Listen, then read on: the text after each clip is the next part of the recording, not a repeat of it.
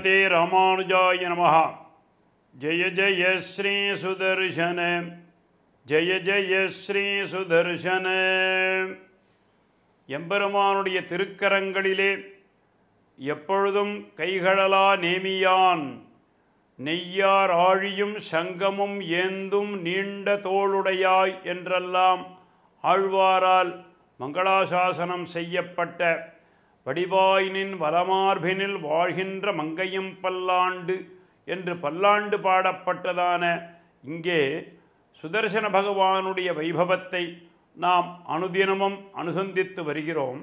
இந்த சக்கரத்தாழ்வானுடைய நாமத்தை ஸ்மரிப்பதனாலே பாபங்கள் விலகும் பாபங்கள் விலகும் என்று அடிக்கடி சொல்கிறார் இந்த பாபம் என்பது நாம் அனுதினமும் எவ்வளவோ புண்ணிய பலன்களை செய்வதற்கு சங்கல்பம் செய்து கொண்டுதான் அந்த காரியத்தை செய்ய வேண்டும். ஆனால் பாபம் செய்வதற்கு ஒரு க்ஷணம் போரும் என்று சொல்வார் நம்முடைய பெரியவர்கள். அந்த பாபமானது சிந்தையினால் சொல்லினால் செய்கையால் என்று மூன்று விதமான பாபம் நம்மை எப்பொழுதும் நெருக்கிக் கொண்டே இருக்கிறது. அந்த கர்மனா மனசா வாச்சா.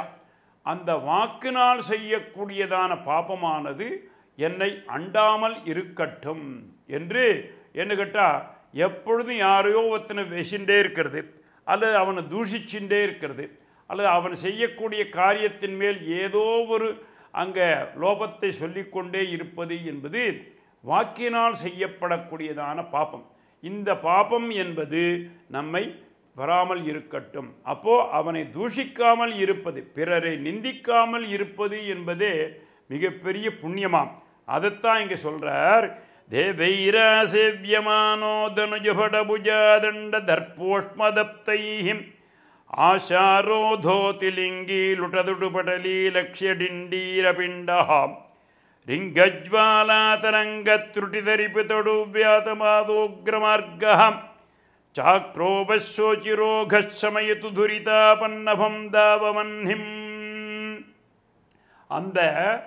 பாபம் செய்வதற்கு எது மூல காரணம் என்று சொன்னால் செல்வச் செருக்கு அல்லது ரூபச்செருக்கு அல்லது குலச்செருக்கு என்று சொல்வார்.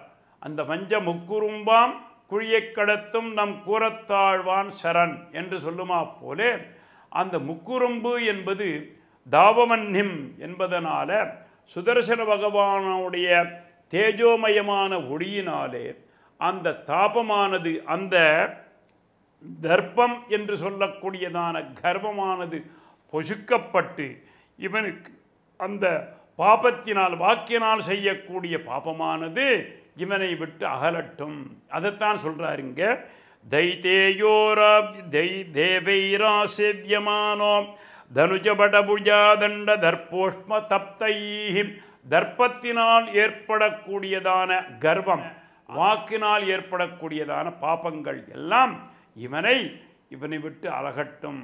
அப்போது இவனுடைய வாக்கில் இந்த சுதர்சன பகவானையே சொல்லின்னு இருக்கிறதுனால வாக்கில் எப்பொழுதுமே நல்ல விதமான வார்த்தைகள் தான் வரும். இவன் தவறி கூட அந்த காரியம் அப்படி ஆகட்டும் இந்த காரியம் இப்படி ஆகட்டும் சொல்ல மாட்டானாம்.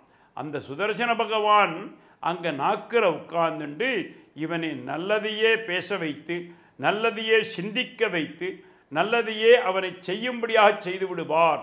அதுதான் சுதர்சன பகவானுடைய மிகப்பெரியதான பாக்கியம்னு சொல்கிறார் தேவைஹி ஆசேவியமானோ அவன் எப்படிப்பட்டவன்?